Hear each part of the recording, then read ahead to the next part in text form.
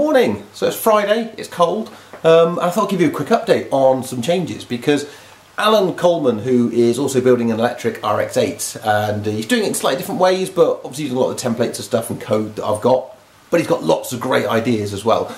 And it's kind of spurred me on again after months of driving the car as it is, going, do you know what, there are improvements that can be made. So he's got great ideas about beefing up the, you know, the HV relays that I have, my, my little timer that I use that, to be quite honest, has, has been good, but has also caused me a few issues as well. I've got no real control over it. So we're going to put control mechanism in, which is fantastic. That's going to really beef that area up. Um, I've been sent information about the Nissan Leaf water pumps as well, so thanks for that um, on controlling the speed because my water system and my cooling system at the moment, the pump is just so loud. Well, not so loud, it's loud. Um, so I can just trim that down 50%, it will be silent. So that's great, but the biggest thing I've been working on is how to get this to regen. You know, like you do in the, in the Nissan Leaf, you do a one pedal, take your foot off, and it regens, and it comes to a stop.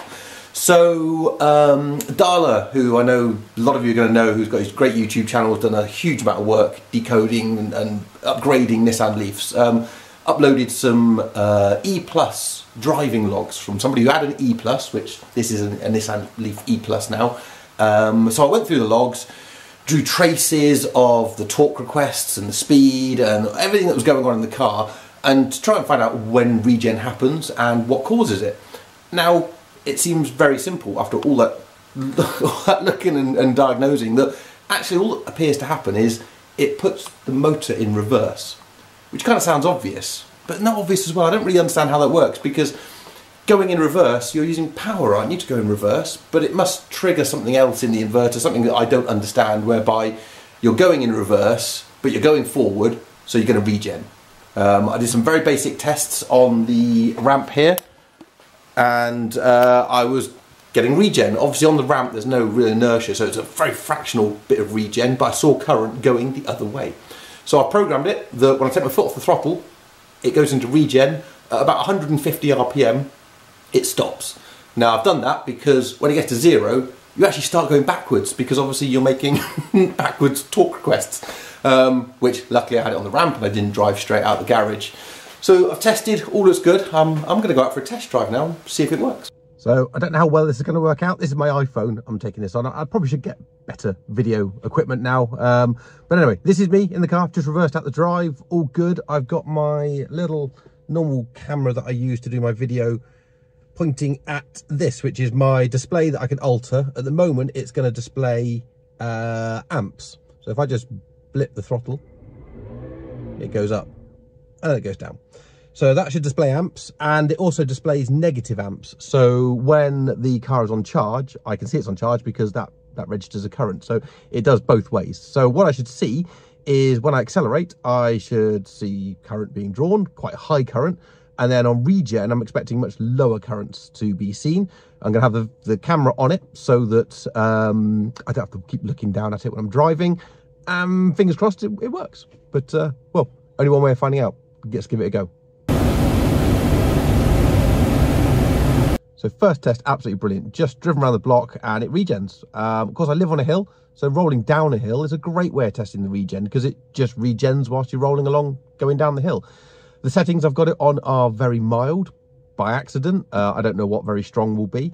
I know the torque requests I'm making in reverse are about, I don't know, 25, 30% of the max torque requests. So, you know, obviously I can up that considerably and I guess you get a lot more hard regen. But what I like about what I've got here is that it is so mild, you do still need to use the brake really to stop, um, unless of course you want to coast for ages. And it makes me think, well, do I then need to attach it to the brake pedal so much? Because I'm not really coming to a, a, a really sharp stop. Not like my missus who's got the actual Nissan Leaf, uh, the second gen.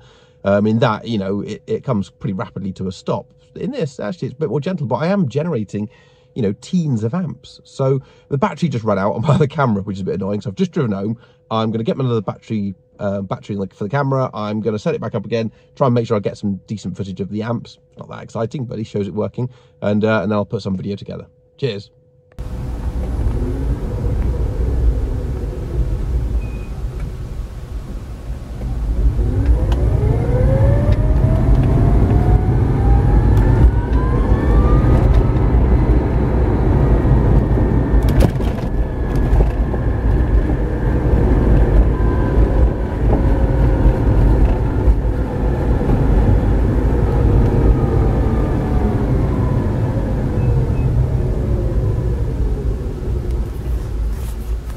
Wow, okay, that's just brilliant. So I've been for a longer drive and it works fine. Um, so it's very light, as I said. I've got some video footage now of the of the amps. That's good.